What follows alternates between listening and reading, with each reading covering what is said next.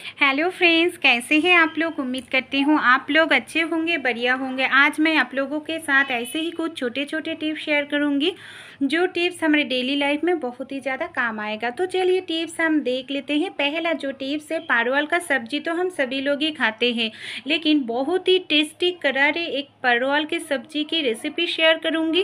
पहले हमें क्या करना होगा? इस तरीके से छिलके को हमें छीलना पड़ेगा। फिर इसको इस तरीके से आधा करके हम इसको काट लेंगे।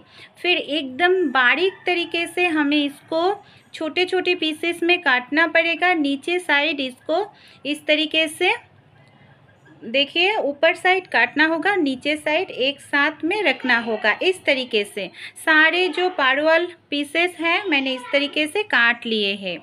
फिर एक बर्तन में मैं ले रही हूँ, देखिए, दो चम्मच के करीब फ्रेंड चावल का आटा थोड़ा सा नमक थोड़ा सा हल्दी कलौंजी थोड़ा सा मिर्च पाउडर, धनिया पाउडर अच्छे तरीके से मिला लेंगे। थोड़ा सा मैं नींबू का रस दे रही हूँ, इससे ना खट्टापन आएगा, खाने में अच्छा लगेगा।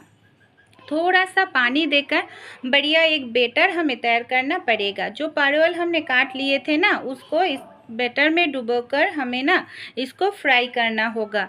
इतना बढ़िया लगती है खाने में, क्या बताऊँ फ्रेंड? एकदम से करारे मुछ मुछे हो जाते हैं। देखिए मैंने गोल्डन करके फ्राई कर लिए हैं। आप चाहे तो चाय चाय के साथ खा सकते हैं चावल के साथ खा सकते हैं। अगला जो टिप्स है मूंगफली तो हम सभी लोग ही खाते हैं फ्रेंड लेकिन क्या होता है ये जो मूंगफली होते हैं ना इसका छिलका अगर हम्म, तोड़ने जाए तो बहुत ही तकलीफ़ होती है। कई बार छोटे बच्चे तो दांत से ही इसका जो छिलका है ना, तोड़ते रहते हैं तो हमारे घर में क्लॉथ क्लिप सभी के पास मौजूद है। क्लॉथ क्लिप की मदद से देखिए कितना आराम से हम इसका छिलका जो है, इस तरीके से खोल सकते हैं। और हमें हाथ से भी पेशार करने की ज़रूरत नहीं पड़ेगा उंगली से। इस तरीके से क्लॉथ क्लिप के बीच में फंसाइएगा, फिर हल्का सा आप प्रेस करेंगे ना, बहुत ही आसानी से मूंगफली के जो छिलके हैं, आप इसको तोड़ पाएँगे। इस तरीके से हम कम समय में बहुत सारे मूंगफली के छिलके तोड़ पाएँगे, कोई भी दिक्कत नहीं होगी, अच्छे लगे तो ज़रूर आप भी ट्राई करके देखिएगा।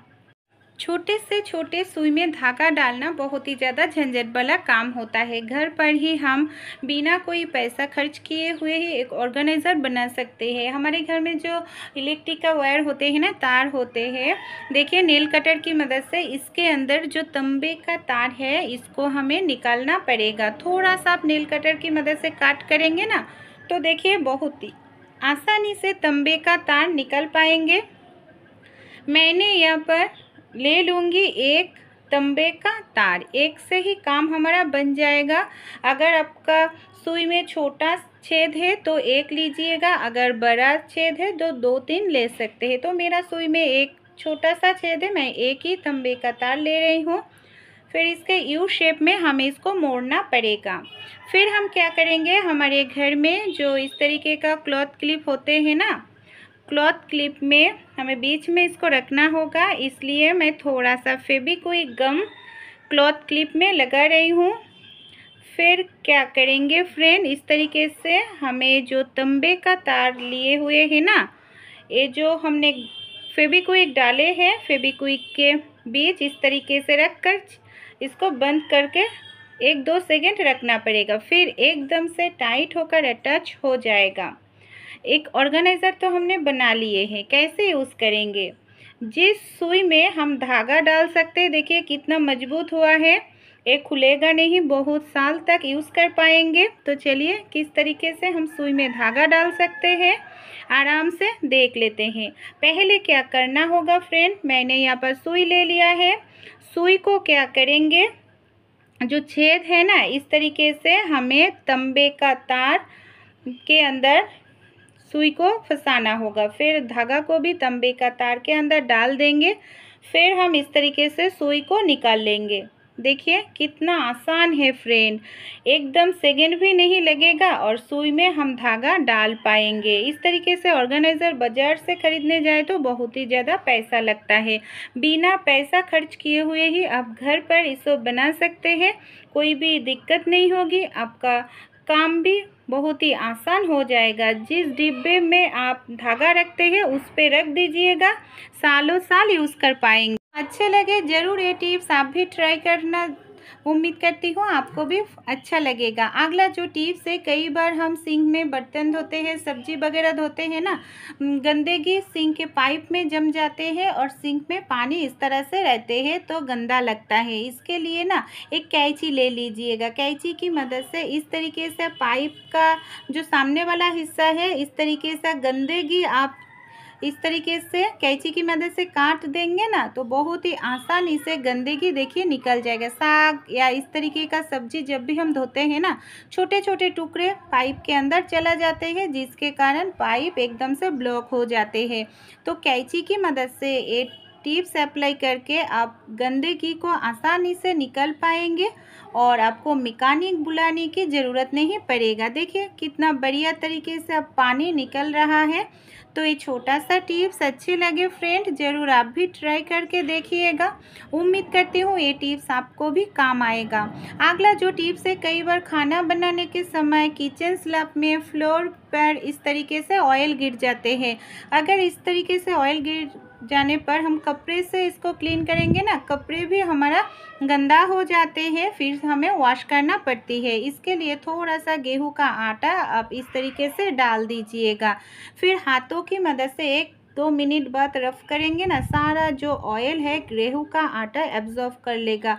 और आपका जो किचन स्लैब हो या फ्लोर हो, एकदम से क्लीन हो जाएगा। कोई कपड़ा आपको यूज़ करने की ज़रूरत ज़रूरत नहीं पड़ेगा। देख सकते हैं मेरा जो किचन स्लैब है एकदम से क्लीन हो गया है। तो अच्छे लगे ज़रूर आप भी ट्राई करके देखिएगा। अगला जो टिप्स है चावल तो हम सभी लोग ही खाते हैं। कई बार चावल पकाने के समय हम दूसरा काम करते हैं चावल जल जाते हैं। और चावल में से ना जला हुआ हम्म, बदबू आने लगता है तो इस तरीके से हम चावल को फेंक देते बिल्कुल भी मत फेंकिएगा। गरम चावल में एक प्याज काट कर आप चावल के बीचों बीच रख दीजिए। इस तरीके से ढककर दस मिनट के लिए। दस मिनट तक प्याज को रखने से क्या होगा? प्याज जो जले हुए बदबू है एब्जॉर्ब कर लेगा और चावल जो है ना, आपका खाने लायक हो जाएगा और फेंकना नहीं पड़ेगा। अगला जो टिप्स है फ्रेंड हमारे घर में जो इस तरीके का टैप होते हैं ना सिंक में कई तरीके का निशान आ जाते हैं गंदगी जम जाते हैं तो इसको हम कैसे क्लीन कर सकते हैं? थोड़ा सा टूथपेस्ट ले लीजिएगा, कोई भी व्हाइट कलर का टूथपेस्ट ले लीजिएगा, फिर इस तरीके से आप इसको लगाकर एक दो मिनट के लिए छोड़ दीजिएगा। एक दो मिनट रखने से ही देखिएगा फिर आपका नए जैसा हो जाएगा। पूरा ना एक कॉसबाइट की मदद से मैं इस तरीके से घिस कर आपको दिखा रही हूँ। रिज़ल्ट आपके सामने ही। है पहले कितना ज़्यादा गंदा था आप देखिए एकदम से क्लीन हो गया है। अच्छे लगे ट्राई करना। एक बर्तन में मैंने ले लिया है शैम्पू थोड़ा सा मैं शैम्पू ले रही हूँ, कोई भी फेवरेट शैम्पू ले लीजिएगा। हमारे घर में चावल का जो पानी होते हैं ना, मार बोलते हैं या फ़ैन तो शैम्पू के साथ अच्छे तरीके से मिला लीजिएगा।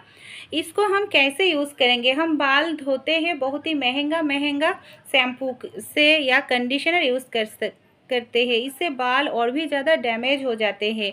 अगर शैम्पू के साथ चावल का मार आप ऐड करेंगे ना, इससे आपका बाल नेचुरल तरीके से कंडीशनर का काम करेगा, बाल बहुत ही तेज़ी से लंबा होने लगेगा सॉफ्ट रहेगा और आपका बाल कई बार बहुत ही ज़्यादा झड़ते हैं, वो भी कम हो जाएगा। छोटा सा होम रेमेडी है, ज़रूर आप भी ट्राई करेंगे ना। बहुत ही अच्छा रिज़ल्ट मिलेगा क्योंकि ये नेचुरल चीज़ है। अच्छे लगे तो ज़रूर ट्राई करके देखिएगा।